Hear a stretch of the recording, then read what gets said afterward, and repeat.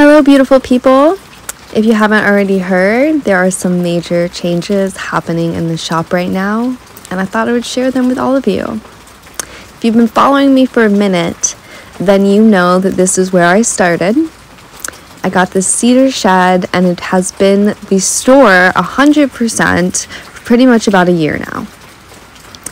And a lot has happened since then, including my son getting older. It has been really hard to get out there. I also need the storage, and quite frankly, I would like to be doing a lot more art. If you watched my early videos when I was setting up all of this stuff, I didn't have the space to do both. I was selling high volumes of inventory, reselling. There wasn't a way for me to have my art studio and resell at the same time. I couldn't figure out how to get the two worlds to collide.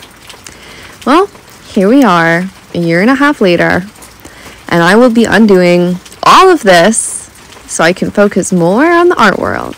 Here I am clearing everything out, sorting it all out, deciding what it is that I want to keep, what it is I want to donate. And here's the room, deciding how it is I want to set it up. Whether I want to have more floor space or more of stations along the way. I am bringing my studio and store inside into my guest room, and the shed will continue to be a shed where I can get all of my DIY and furniture upcyclings done. Here's where we're at so far. I decided it was really important for me to have more floor space. Here's my shipping station. Then we move into my art and desk area where I can create pay bills, post photos. I even have my guest bed laying up against the wall. This is where I have all of the stuff that I have posted and need to post. I have the paintings I'm working on, my massage table for my trauma informed yoga therapy and Reiki, and my extra space to create.